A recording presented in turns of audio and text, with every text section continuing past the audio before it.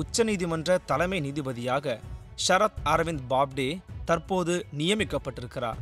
இதற்கான ஒப்புதலை இந்திய குடியரசுத் தலைவர் மரியாதைக்குரிய திரு ராம்நாத் கோவிந்த் அவர்கள் வழங்கியிருக்கிறார். உச்சநீதிமன்றத்தினுடைய தலைமை நீதிபதி பதவி பணி மூப்பின் அடிப்படையில் வழங்கப்பட்டு கொண்டு வருகிறது. இதில் பொறுப்பில் உள்ள தலைமை நீதிபதி ஓய்வு பெறுவதற்கு முன்பாகவே தனக்கு அடுத்த தலைமை நீதிபதி யார் என்பதனை குறிப்பிட்டு மத்திய அரசுக்கு பரிந்துரை செய்வது என்பது வழக்கமான நடைமுறையாகும். அதன்படி தற்போது உச்சநீதிமன்றத்தின் தலைமை நீதிபதியாக இருக்கக்கூடிய திரு. ரஞ்சன் கோகோய் அவர்களுடைய பதவி காலமானது வருகின்ற இரண்டாயிரத்தி பத்தொன்பதாம் ஆண்டு நவம்பர் பதினேழாம் நாளோடு முடிய உள்ளது. இந்த நிலையில் தனக்கு அடுத்த நிலையில் உள்ள மூத்த நீதிபதியான ஷரத் அரவிந்த் பாப்டே எனக்கூடிய எஸ். ஏ. பாப்டே அவருடைய பெயரை உச்சநீதிமன்றத்தினுடைய புதிய தலைமை நீதிபதியாக நியமிக்கும்படி மத்திய அரசுக்கு பரிந்துரை செய்து ரஞ்சன் கோகோய் அவர்கள் சமீபத்தில் கடிதம் எழுதியிருந்தார். இந்த பரிந்துரையினை குடியரசுத் தலைவர் ராம்நாத் கோவிந்த் அவர்கள் ஏற்றுக்கொண்டு எஸ் ஏ பாப்டே தலைமை நீதிபதியாக நியமனம் செய்வதற்கு ஒப்புதல் அளித்துள்ளார். இதைத் தொடர்ந்து இந்திய உச்சநீதிமன்றத்தினுடைய நாற்பத்தி ஏழாவது புதிய தலைமை நீதிபதியாக ஷரத் அரவிந்த் பாப்டே நவம்பர் பதினெட்டாம் நாள் பதவியேற்க உள்ளார். அவர் இரண்டாயிரத்தி இருபத்தி ஓராம் ஆண்டு ஏப்ரல் மாதம் இருபத்து மூன்றாம் நாள் வரை இப்பதவியில் நீடிப்பார்.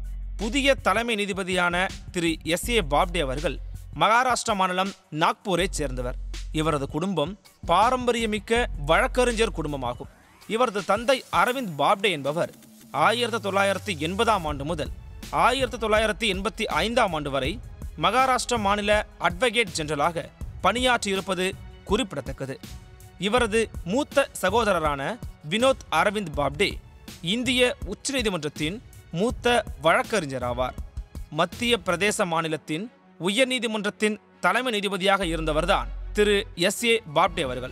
ஷரத் அரவிந்த் பாப்டே தன்னுடைய பட்டப்படிப்பினை நாக்பூரில் உள்ள எஸ்எஃப்எஸ் கல்லூரியில் பயின்றார். இதன் பின்னர் கூடுதலாக நாக்பூர் பல்கலைக்கழகத்தில் ஆயிரத்தி தொள்ளாயிரத்தி எழுபத்தி எட்டாம் ஆண்டு தன்னுடைய சட்டப்படிப்பினையும் முடித்தார். ஷரத் அரவிந்த் பாப்டே அவர்கள் ஆயிரத்தி தொள்ளாயிரத்தி எழுபத்தி எட்டாம் ஆண்டு செப்டம்பர் மாதம் பதிமூன்றாம் நாள்தான் முதன் முதலாக ஒரு வழக்கறிஞராக மும்பை உயர்நீதிமன்றத்தின் நாக்பூர் பெஞ்சில் இணைந்து செயல்பட துவங்கினார். பின்னர் ஷரத் அரவிந்த் பாப்டே மார்ச் மாதம் இருபத்தி ஒன்பதாம் நாள் இரண்டாயிரமாம் ஆண்டன்று மும்பை உயர்நீதிமன்றத்தின் கூடுதல் நீதிபதியாக நியமனம் செய்யப்பட்டார். இவர் மத்திய பிரதேச மாநிலத்தினுடைய உயர்நீதிமன்றத்தின் தலைமை நீதிபதியாக இரண்டாயிரத்தி பன்னிரெண்டாம் ஆண்டு அக்டோபர் மாதம் பதினாறாம் நாளன்று இணைந்து செயல்பட்டார். பின்னர் ஏப்ரல் மாதம் பன்னிரெண்டாம் நாள் இரண்டாயிரத்தி பதிமூன்றாம் ஆண்டன்று இந்திய உச்சநீதிமன்றத்தின் நீதிபதியாக உயர்த்தப்பட்டார். ஆதார் வழக்கினை விசாரித்து தீர்ப்பளித்த நீதிபதிகளுள் மிக முக்கியமானவர் எஸ். ஏ. பாப்டே ஆவார். இந்திய உச்சநீதிமன்றத்தின் மூன்று நீதிபதிகள் கொண்ட பெஞ்சானது போப்டே ஜஸ்டிஸ் செலமேஸ்வர் மற்றும் சொக்கலிங்கம் நாகப்பன் ஆகியோரை உள்ளடக்கி இருந்தது இந்த மூன்று நீதிபதிகள் கொண்ட பெஞ்சானதுதான் உச்சநீதிமன்றத்தின் முந்தைய உத்தரவினை ஒப்புதல் அளித்ததோடு ஆதார் அட்டை இல்லாத எந்த இந்திய குடிமகனும் அடிப்படை சேவைகள் மற்றும் அரசாங்க மானியங்களை இழக்க முடியாது என்று தெளிவுபடுத்திய பெஞ்ச் ஆகும். இதேபோல மற்றுமொரு மிக முக்கியமான வழக்கை விசாரித்த பெஞ்சில் இவருடைய பெயரும் அடங்கும். இந்திய உச்சநீதிமன்றத்தின் இரண்டு நீதிபதிகள் கொண்ட பெஞ்சானது இரண்டாயிரத்தி பதினேழாம் ஆண்டில் அமைக்கப்பட்டது.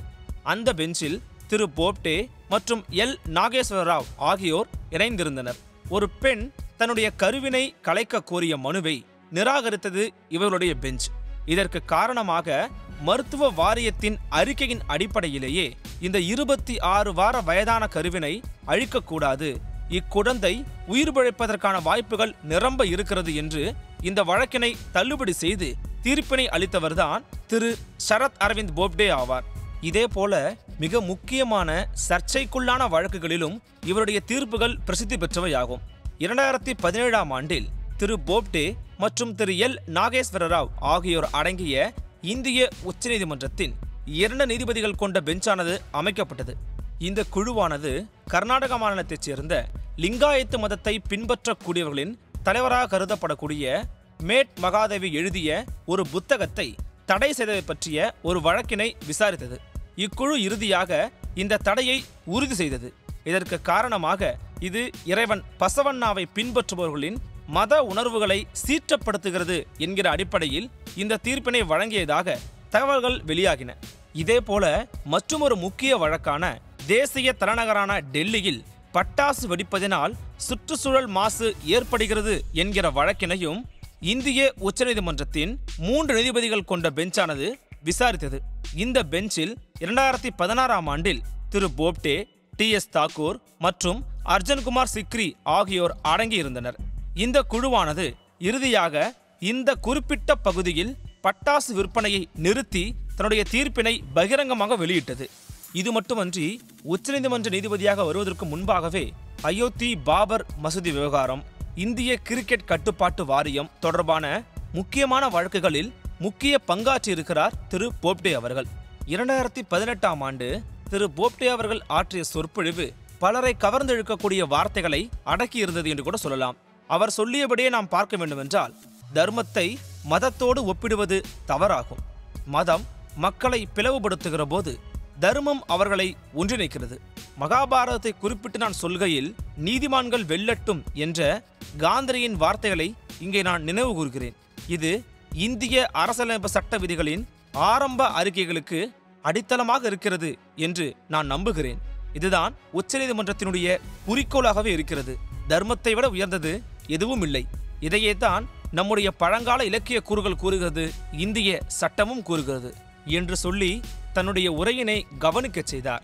தற்போது பதவியில் இருக்கும் தலைமை நீதிபதி ரஞ்சன் கோகோய் அவர்கள் பதவி ஓய்விற்கு முன்பாக வரலாற்று சிறப்புமிக்க அயோத்தி வழக்கின் தீர்ப்பினை வெளியிட உள்ளது குறிப்பிடத்தக்கது.